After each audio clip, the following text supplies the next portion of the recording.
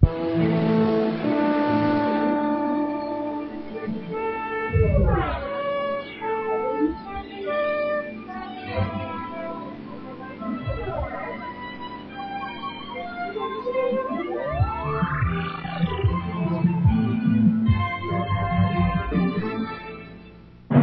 Space Shuttle. Mission to the Future. On April 12th, the Space Shuttle Columbia was successfully launched into Earth's orbit. This marked the beginning of a new age in space travel. The Columbia is the world's first reusable spaceship and is designed to carry people and equipment into space. Why is the space shuttle so different? Because the space shuttle is launched like a rocket, flies like a spaceship, and lands like a glider. The Columbia will fly not one mission, but at least 50 missions. The space shuttle was launched in Florida. Was it built there too? The different parts of the space shuttle were built in different places. The space shuttle is made up of three parts the orbiter, the rocket boosters, and the external fuel tank. The orbiter was built in California, assembled in Houston, and tested. The external fuel tank was built in New Orleans. They built and tested the rocket boosters in Utah.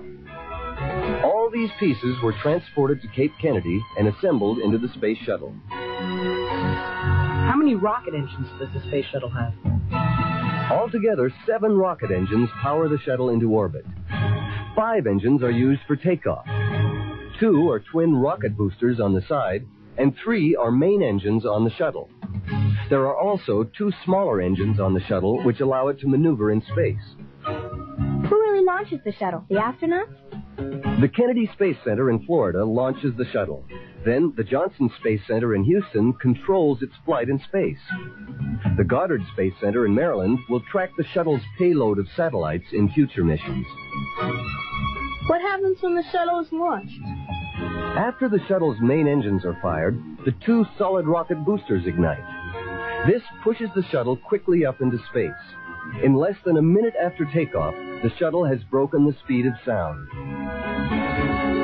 A few seconds later, at Mach 4, or four times the speed of sound, the solid rocket boosters separate and parachute back to Earth. These expensive rockets are recovered in the ocean and will be used on future flights.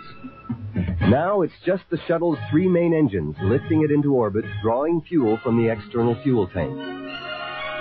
In just seven minutes from its launch, the shuttle is now traveling at Mach 17, 17 times the speed of sound. Now the final problem, releasing the external fuel tank. It must drop back into the Earth's atmosphere where it will burn up.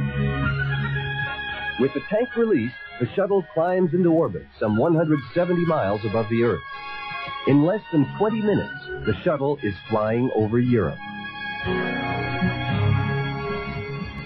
Thank you.